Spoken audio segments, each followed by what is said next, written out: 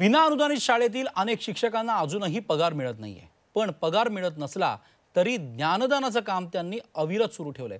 अशाच एका शिक्षिकेच्या कार्याची ओळख करून घेऊया.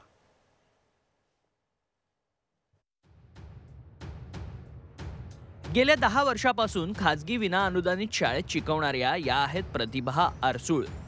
ज्ञानदानासोबत शाळेत खेळ शिकवण्याची जबाबदारी त्यांच्यावर आहे. त्यांच्या हाताखाली शिकलेले अनेक विद्यार्थी डॉक्टर इंजिनियर झाले. पण त्या मात्र विनावेतन काम करतायत पगारासाठी त्यांनी अनेकदा आंदोलनं केली.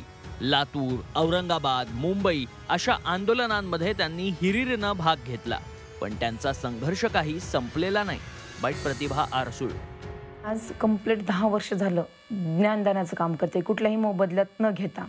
आज हे ज्ञानदान एवढं आम्ही प्रामाणिकपणे काम करतो. की अक्षरशः मुलांना आमचे मुलं दरवर्षी कलो स्कॉलरशिपला पात्र असतात नवोदयाला पात्र असतात तसेच राष्ट्रीय खेळाडू सुद्धा आम्ही खेळ राज्यस्तरच खेळापर्यंत मुलांनाही घेऊन जातो. एकशे अठ्ठावन्न आंदोलन आतापर्यंत केले तरीही शासनाला आणखी जाग येत नाही आमच्याकडं शासनाचं अजिबात लक्ष नाही. आमच्यासारखे असे शेकडो शिक्षक हजारो शिक्षक आज वेगवेगळ्या प्रकारे आंदोलनं करतात. कोरोना संकटातही त्या विद्यार्थ्यांना ऑनलाईन शिक्षणाचे धडे देत आहेत पगार मिळत नसल्यानं घर चालवण्यासाठी त्यांनी फिटनेस क्लास सुरू केले. पण लॉकडाऊनमुळे फिटनेस क्लासही बंद करावे लागले. पण तरी त्या खचलेल्या नाही क्रीडा शिक्षक असल्यामुळे मी फिटनेस सेंटर सुरू केलं होतं. आणि ते फिटनेस सेंटर सुद्धा आता ह्या लॉकडाऊनमध्ये बंद पडलं.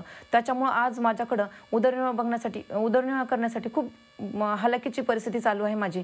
तरी पण आमचं आम्ही कार्य कंटिन्यू चालूच ठेवलं आहे. कंटिन्यू मुलांना त्यांचं लेक्चर देऊन त्यांना टीचिंग करून त्यांचं अध्ययन सुरूच ठेवलेलं आहे. पगार मिळत नाही म्हणून त्यांनी कधी हात टेकले नाहीत. आपल्या प्रतिभेचा वापर करून अनेक विद्यार्थी त्यांनी घडवले. त्यांच्या या जिद्दीला सलाम.